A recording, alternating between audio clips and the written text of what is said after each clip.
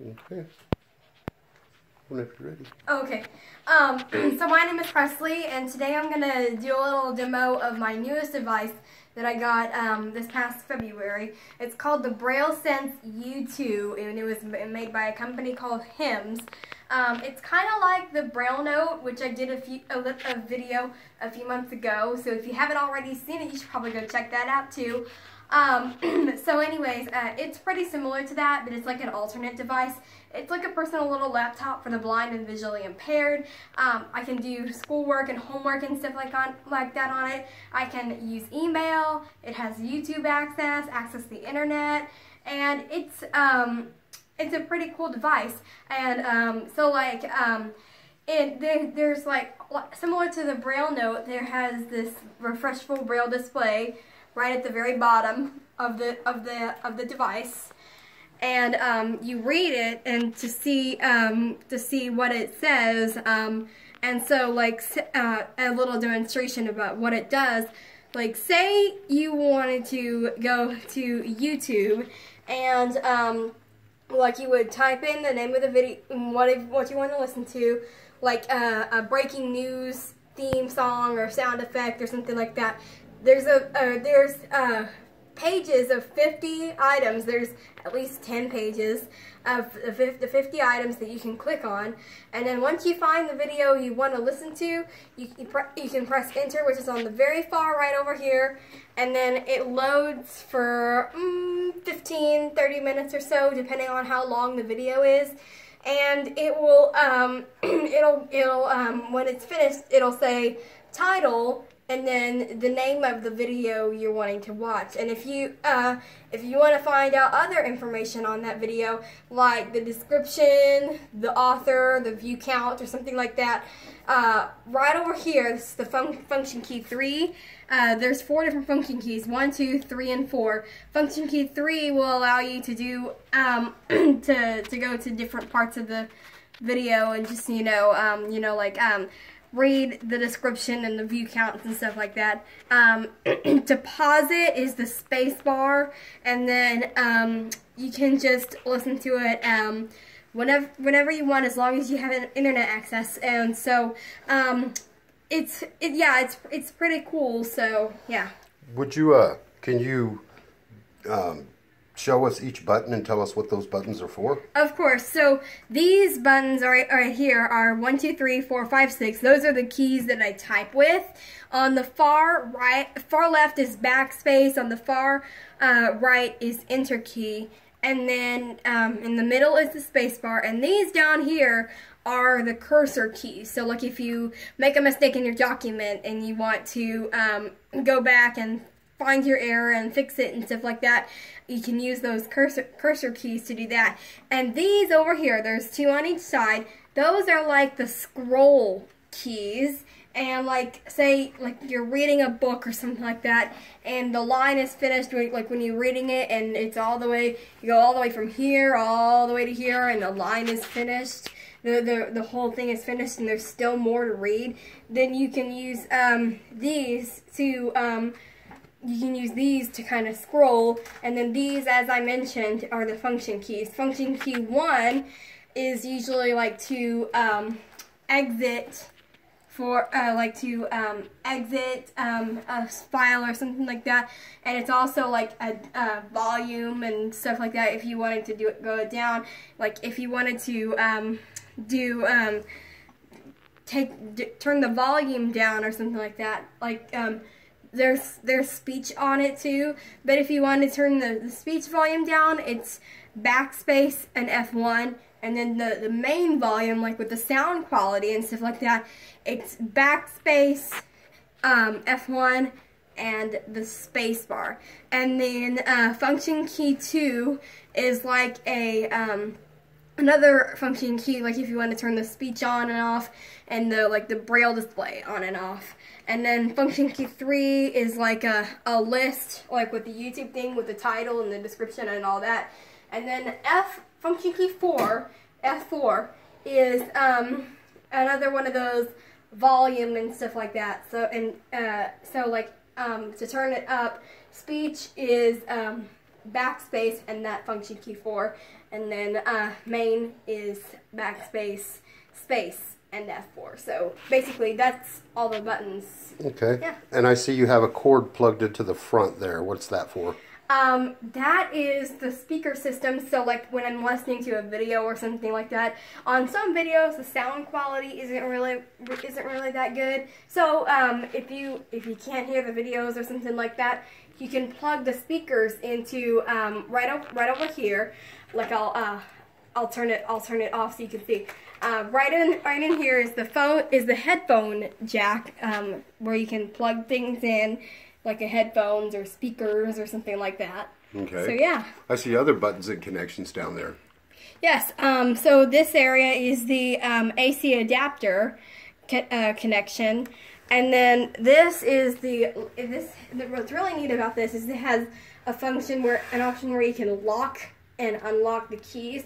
So like if you are uh, are wearing a dress and you have a special event and you don't want it to because it has Velcro on the back of it. If you don't want it to get snagged, and um, and uh, uh, you don't want it to bump any of the keys and stuff like that, you would put the you would put the cover on, which is right over here, and then um, put the cover up on uh, and lock the lock those keys, and then um, in in this area is all kinds of you know like USB stuff like that, monitor, VGA, and all that.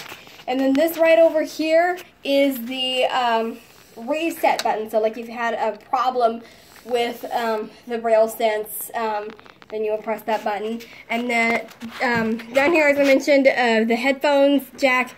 And then right over here is the microphone. So like if you're doing like a recording and you need to like plug in a microphone or anything like that, then that you use that too. Okay. It looks like there's uh, some buttons. I'm sorry. Oh, it's Uh, okay. looks like there's some buttons there by the where your microphone connection is and everything. So Mm-hmm. arrows and like are those like looks like maybe the same kind of buttons you'd see to fast forward or pause or play. I'm not really sure what those are for. Okay, we haven't checked those out very well yet. Okay, Nope. that's what those look like. Looks like it maybe a stop Mm-hmm. and a forward and reverse um, buttons. Yeah. Very cool. Um, so, can you? Uh, I also see that there is a a readable screen on top. Um, that is, uh, I guess that allows uh, uh, a sighted person to be able to look at the device and identify what function or uh, what um, setting that the uh, Braille Sense is currently Currently operating on, yeah. on. Yeah, exactly. You do a better job of explaining this than I do. okay, um, now there was another key function, uh, one of the main things, Mm-hmm. features about the Braille Sense, I know, is uh, it had something to uh, to do with math. Can you uh, talk a moment about that? Yes, um, for the vi- visually impaired, there's this method for math that makes things a lot easier. It's called the Nemeth code, and so like it's a set of like um, it's a set of like symbols and numbers and stuff like that that you can use um, to um, to, to write math problems out and stuff like that. And then um, in some some problems like with long division or something like that, you would have to line your numbers up in linear format.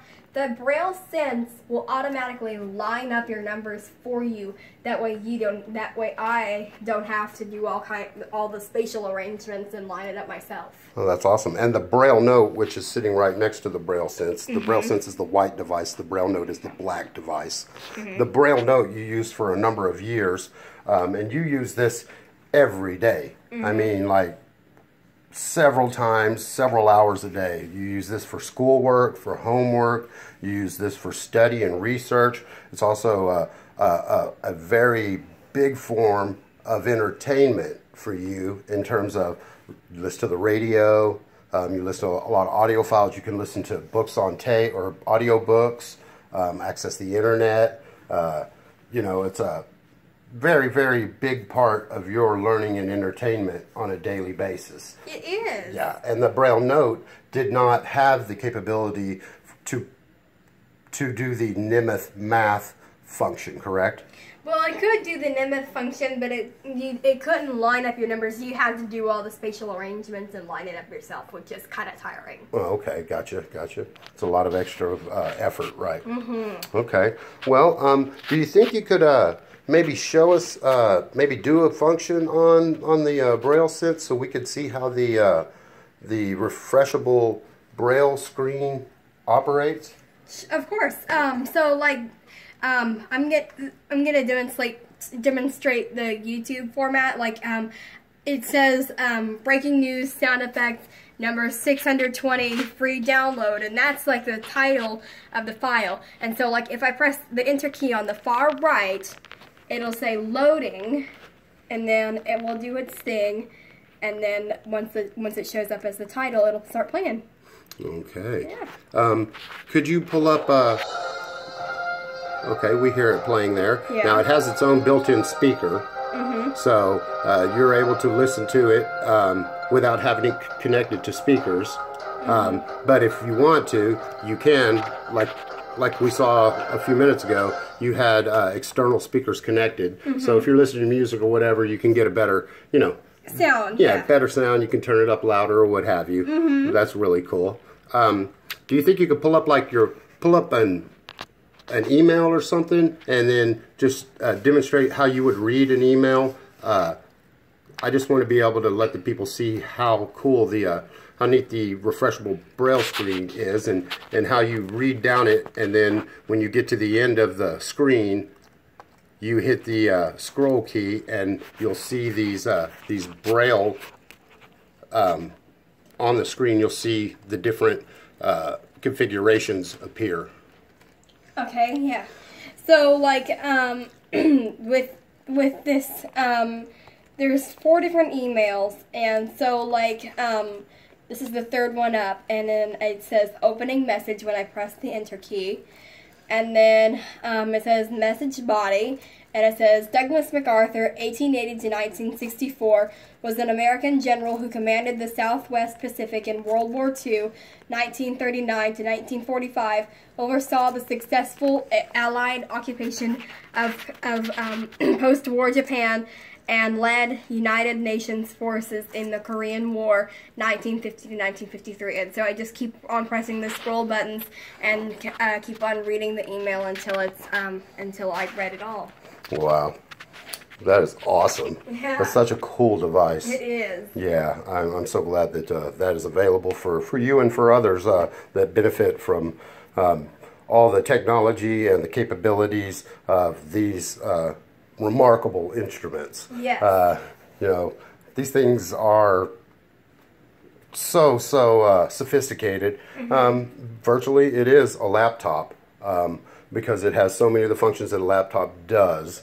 Um, and there are upgrades for software and firmware that come out routinely and uh, it's just it's been a blessing that you've had it I mean you're you're a great student um, by the way congratulations on uh, on your most recent report card Friday. Um, once again the AB honor roll yes. um, which is a constant for you. Um, we're proud of you for that. And I'm proud of um, myself. but these devices and you should be Yeah. but these devices have uh, have been essential and very key in your education um, and just your day-to-day activities. I mean, uh, I see you working on these things all the time, and uh, it's just a uh, just been really cool. And I have people that ask me about you all the time and ask about how you do this and how you do that, and school and, and stuff like that. And uh, you know, I try to explain the Braille note or the Braille sense to them, and it's just it's hard for me to put into words and give a you know a really detailed description and make it to where they can understand what it is that I'm trying to describe. So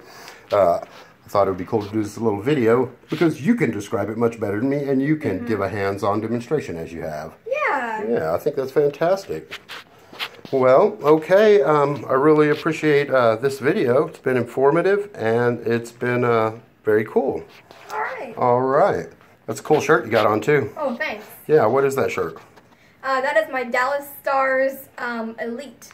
Dallas Stars Elite? Yes. Oh, what is that? Um, that's a, a junior hockey team that my cousin Sam plays on.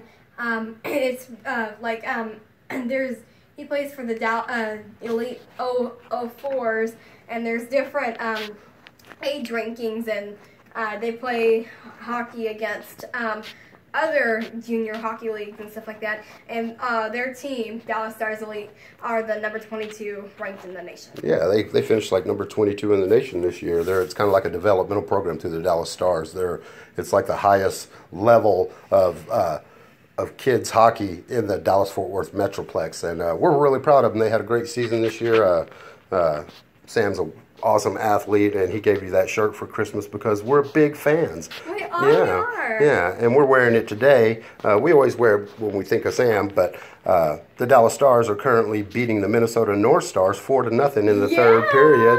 Yeah, and this is the elimination game. If Dallas wins on, uh, hangs on to win this, Minnesota will be eliminated, and Dallas will uh, wait to go on to the second round of the 2015-16 Stanley Cup playoffs. Yeah. Go Stars! Go Stars! Yeah!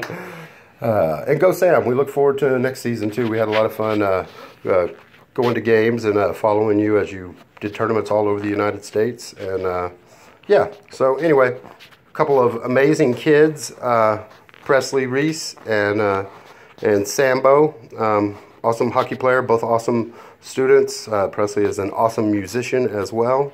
And um, yeah, we hope you enjoyed this video. And uh, if you uh, have any questions about anything, uh, uh, if you've ever been curious about um, how visually impaired uh, people um, get through daily life or you know challenges they face or just anything like that, um, leave us a comment, ask us a question, and um, look uh, look for further videos in the future uh, to just give people insight um, because a lot of people don't know uh, much information about uh, this talk topic. So Yeah. yeah.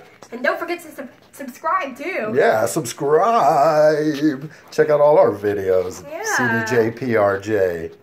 All right. Well, um, thanks again, Presley. No problem. All right, everybody, have a great week, You too. and we'll talk to you later. Bye. Bye.